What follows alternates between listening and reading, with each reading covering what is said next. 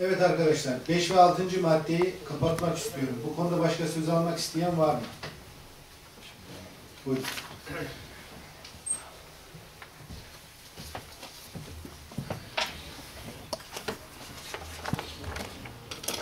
Sayın Başkan, değerli meslektaşlarım, saygıdeğer hanımefendiler, hepinizi en candan duygularla selamlıyorum. Şimdi ben dahil meslektaşlarımın gözlerine bakıyorum. Hepimizde bir yorgunluk var. Yoğun bir eğitim sürecinden geçtik.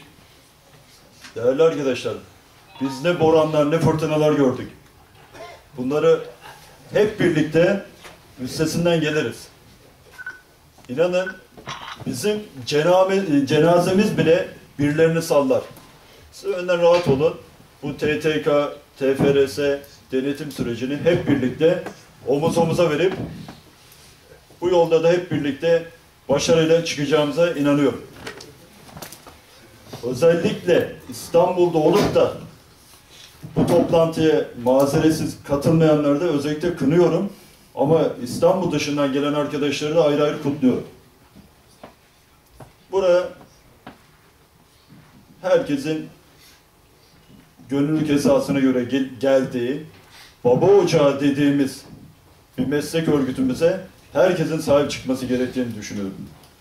Şimdi sevgili dostlar, bir de ayrıca malum 8 Mart Dünya Emekçi Kadınlar Günü geçti. Ben gerçi geçmiş olmasına rağmen emek veren bu meslek örgütündeki bütün bayan meslektaşlarım 8 Mart Dünya Emekçi Kadınlar Günü'nde ayrıca kutluyorum.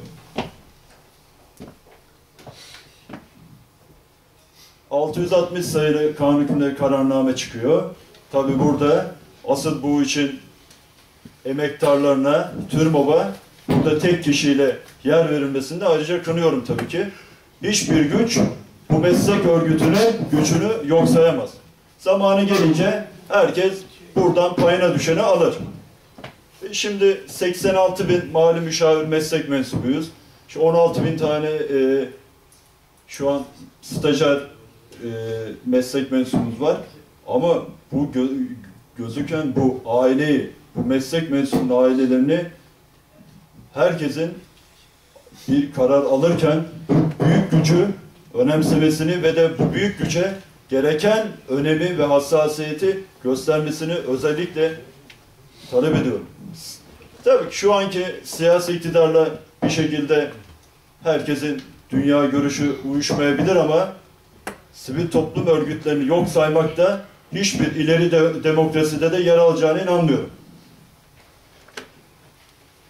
Futbol turnuvası geleneksel hale geldi. Tabii futbol turnuvasında dostluklar, kardeşlikler ve kaynaşmalar oluyor. Ben önemsiyorum. Futbol turnuvası bu sene de yapılacak.